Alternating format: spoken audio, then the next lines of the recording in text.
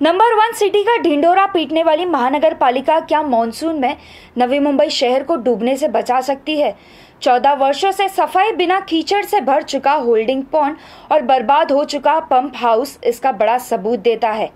इसके सुधार के लिए लगातार मांग करते आ रहे शिवसेना युवा नेता अवधूत मोरे ने कहा कि यदि मानसून शुरू होने से पहले इस पर गंभीरता से ध्यान नहीं दिया गया तो वाशी सिटी को बाढ़ और तबाही से बचा पाना मुश्किल होगा।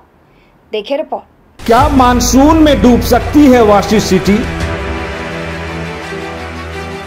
क्या होल्डिंग पॉइंट बनेगा तबाही का बड़ा ज़रिया?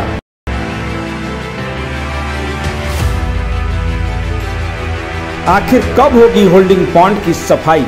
तो मैं ये बताना चाहता हूँ राजनीति मत कीजिए। आप लोगों के हित में काम कीजिए। सिटी डूबेगी तो यही जवाबदार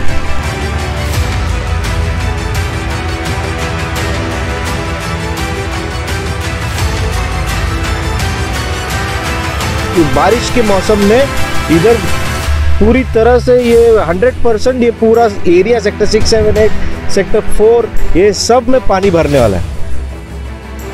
जी हाँ चौदह वर्षों से कीचड़ और मलबे से भरा नईम्बई वासी का यह होल्डिंग पॉइंट तो यही सबूत देता है। गौर कीजिए, तस्वीर में दिख रहा नईम्बई का वो होल्डिंग पॉइंट है, जिसे नीदरलैंड के डच तकनीक पर बनाया गया है। यह मुंबई का पहला होल्डिंग पॉइंट है जहाँ वासी सेक्टर दो चार छह के तमाम नोट्स के साथ ही एपीएमसी सानपाड़ा, तुरबे इलाका और पहाड़ी क्षेत्र का पानी नालों के ज़रिए यहाँ पर जमा होता है। फिर पंप के ज़रिए खाड़ी में छोड़ा जाता है। लेकिन असलियत यह है कि जिस पॉन्ड को हर साल साफ़ करना चाहिए था, उसकी सफ़ाई बरसों से अटकी पड़ी है। पंप हाउस के मोटर बेहद खराब हैं और पाइपलाइन जर्जर हो चुकी है। ऐसे में सोचिए कि आखिर होल्डिंग पॉन्ड बारिश की बाढ़ और वाटर फ्लो को कैसे रोक पाएगा?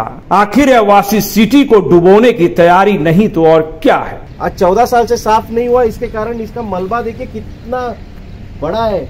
और वो उधर देख रहे हैं आप, उधर से वो पूरा, जो खेरने एमआईडीसी तुरबा एमआईडीसी और ये तुम्हारा सानपाड़ा सेक्टर 30 सेक्टर 9 सेक्टर 16 सबका पानी वो अरेंजा कॉर्नर के यहाँ कलेक्ट होके इधर छोड़ा जाता है। और इधर इधर ये इलाका, ये पूरा वो पानी के लोड से भर जाता है। और इस तरफ़ आप देखेंगे नीचे झुक के एक ही लेवल हो गया है। सेक्टर सिक्स सेवन एट का जो चार का जो पानी आता है, उसको तो ये पूरा पानी का लोड उसको अंदर आने नहीं देता। इसलिए पूरा हमारा सेक्टर हमेशा पानी में भरा हुआ रहता है। और ये ये टाइम तो ये मलबा बहुत ज़्यादा ही भर गया है। और 100 परसेंट ये बारिश में अगर इन्होंने ये साफ़ नहीं किया अभी ये 10 दिन में तो बारिश में इधर फ्लड होने वाला ही है। तो मैं ये बताना चाहता हूँ अभी ये जब पूरी पूरी परिस्थिति आने वाली है जब लोगों के घर में पानी जाने वाला है तो पूरा जवाबदारी आपका है। आप जवाबदार है इसके लिए। सूत्र बताते हैं कि वासी के होल्डिंग पॉइंट की सफ़ाई में यहाँ के मैंग्रूज के पाँच पेड़ सबसे बड़ा रोड़ा है और यही वजह है कि पर्यावरण सुरक्षा का हवाला देकर मनपा प्रशासन के अधिकारी होल्डिंग पॉइंट को साफ़ करने से पीछे हट रहे हैं। लेकिन शिवसेना युवा नेता अवधूत मोरे इसकी खिलाफत करते हुए कहते हैं कि यह होल्डिंग पॉइंट तो मैन मेड है, जहाँ पहले कोई मैंग्रूव था ही नहीं। ऐसे में अचानक उगाए तीन चार मैंग्रोव के पेड़ों का बहाना लेकर होल्डिंग पॉन्ड की सफ़ाई को रोकना और वासी को बाढ़ के खतरे में डालना नहीं तो और क्या है? उन्होंने कहा कि हर मानसून में वासी डूब रही है, लेकिन शिकायत और मांग के बावजूद भी मनपा के अधिकारी सबक लेने को तैयार नहीं है। युवा नेता अवधूत मोरे ने कहा कि हर मानसून में वासी डूब रही है, लेकिन शिकायत और मांग के बावजूद भी मनपा के अधिकारी सबक लेने को तैयार नहीं है। युवा नेता अवधूत मोरे ने स्थानीय लोक प्रतिनिधि और मनपा अधिकारियों को लताड़ लगाते हुए कहा कि शहर डूब रहा है, इसलिए समाधान करो, राजनीति नहीं। मैं शॉक टू सरप्राइज़ हूँ कि आज बारिश 10-15 दिन पे आने को है और ये हालत है ये, जो main heart of the city जो ये बंद पड़ेगा तो पूरा सिस्टम कोलैप्स हो जाएगा। ये सिस्टम नेदरलैंड्स में यूज़ किया गया है। वो नेदरलैंड्स का सिस्टम जिसे डच सिस्टम कहते हैं, वो सिडको ने 1970s में ये शहर सी लेवल के नीचे है इसलिए ये सिस्ट, वो सिस्टम इधर लाए।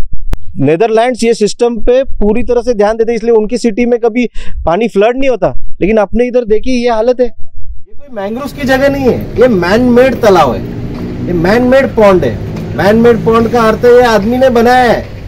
और तभी ये प्रॉपर मेज़रमेंट लेके बनाया गया है ताकि ये एक्सेस वाटर इसमें कलेक्ट कर सके। लेकिन आज ये चार पेड़ के वजह से हमारी पूरी सिटी धोखे में आने वाली बारिश के मौसम में इधर पूरी तरह से ये हंड्रेड परसेंट ये पूरा area sector six seven eight sector four ये सब में पानी भरने वाला है। सिटी डूबेगी तो यही जवाबदार है। फ़िलहाल होल्डिंग पॉन्ड की बर्बादी और सफ़ाई नहीं होने के कारण पैदा हुए बाढ़ के खतरे पर कोई भी मनपा का अधिकारी कैमरे पर बोलने को तैयार नहीं है। उम्मीद है कि मनपा आयुक्त अभिजीत बांगर खुद होल्डिंग पॉन्ड पर नज़र डालेंगे और वासी सिटी को डूबने से बचाने की पहल करेंगे। Bureau report, TV one India. Latest updates और ताज़ा तरीन खबरों के लिए टीवी वन इंडिया लाइव को सब्सक्राइब कीजिए और नोटिफिकेशन पाने के लिए बेल आइकॉन को दबाना मत भूलिए।